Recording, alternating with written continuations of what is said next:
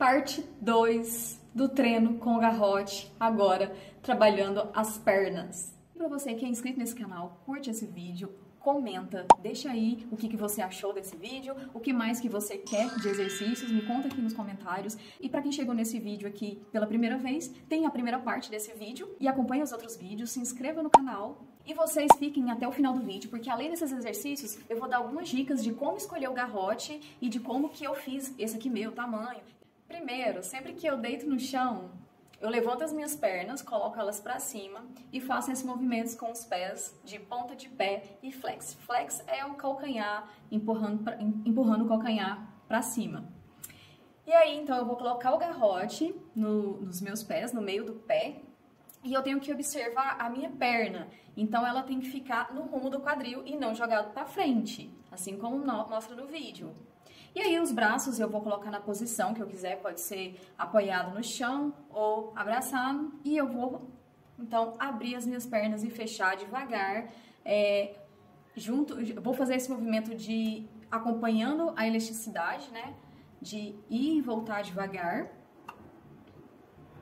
E sempre, lembrando, sempre respirando. Eu faço devagar, depois eu faço esse movimento lento, é, rápido. E aí eu posso trabalhar esse movimento de flex e ponta de pé, enquanto estou movimentando com elástico.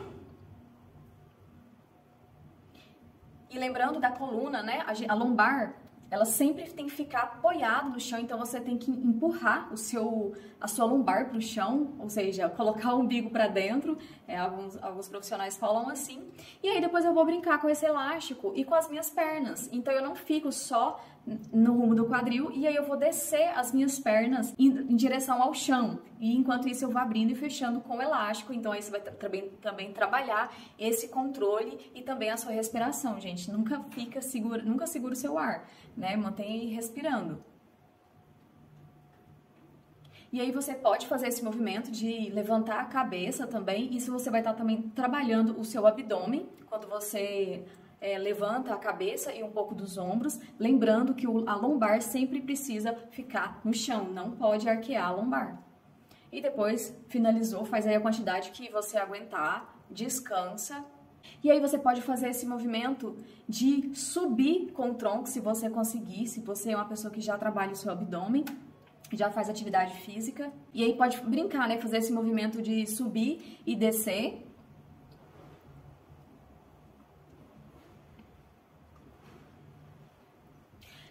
E um outro movimento é que você vai colocar uma perna para cima, deixar ela colocar na canela, como mostrado no vídeo, e você vai descer com a outra e sempre com as pernas bem esticadas. Repara que o meu joelho às vezes dobra, então eu, eu tenho que estar sempre em observação para eu não deixar esse joelho dobrar. Eu tenho um pouco de. Não é, não é bem encurtamento. É, tem um nome para isso que eu esqueci por causa da minha fibromialgia, então eu tenho um, é, meu joelho é bem difícil de ficar bem esticado, mas eu, eu tenho que trabalhar bastante isso e como eu estou um pouco parada, voltou, então é, eu tenho que estar sempre prestando atenção nisso, então também recomendo vocês prestarem atenção.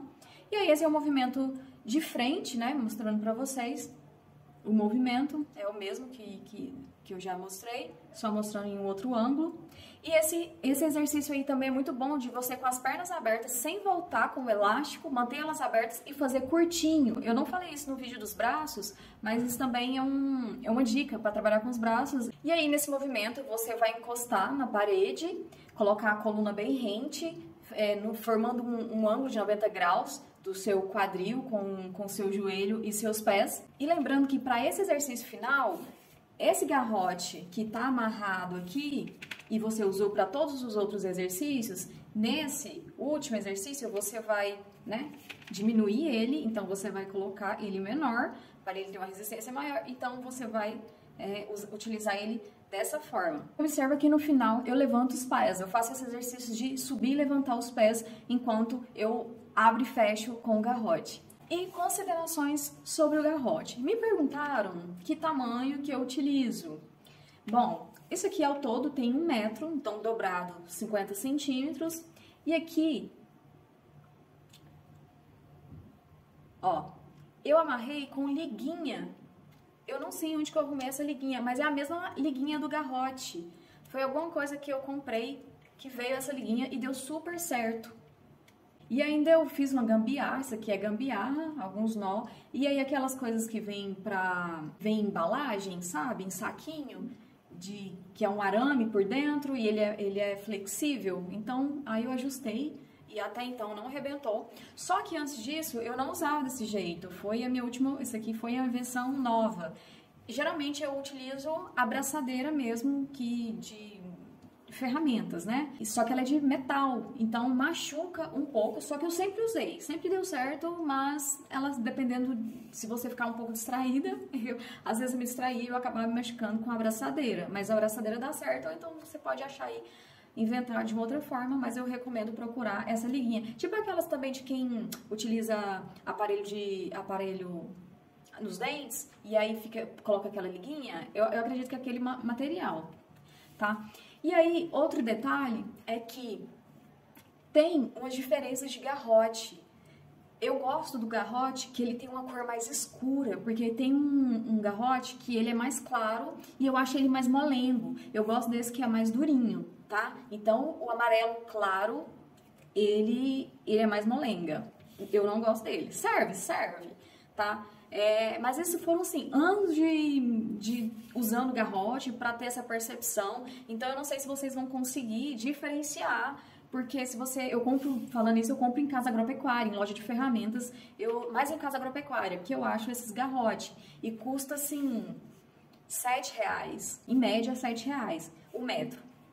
E então se você, ah, eu não quero mais amarelo, eles não vão saber qual que é qual, porque para eles é tudo garrote. Então em uma loja eu acho só do amarelo, em outra eu acho mais do escuro, mas é, é tudo mesmo. É isso, gente. Mais uma vez, se inscrevam. Para quem não está inscrito nesse canal, curte esse vídeo, compartilha, comenta aqui, ajuda o canal a crescer. E valeu! Vamos que vamos!